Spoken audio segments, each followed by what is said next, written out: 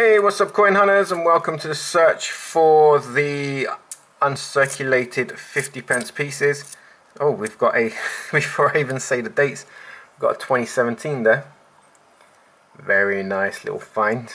Um, the lowest minted uh, shield 50 pence.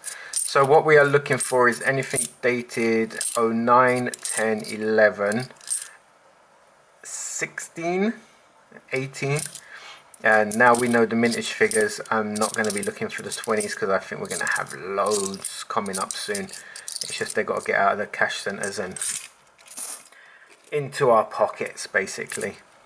Um, but yeah we're going to have a look. There's another 17 very wait let me double check that is a shield yeah. Very cool. Two 17s in a in a hunt. That's not bad is it? But it's not the low, low uncirculated minted ones. I wonder how long it'll be until we actually find our first 2020. It'll be pretty cool when we do find it, to be honest. So we do have loads of 19s and 15s in this batch. There's 19, 19, see like 19s in a row there.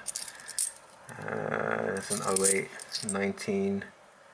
Yep, nothing there. But we did get two lovely 2017s. So guys, thank you very, very much for taking the time to watch this super short video, but not short enough to call it shorts. And I will see you in my next coin hunt. So take care guys, and happy coin hunting. Goodbye.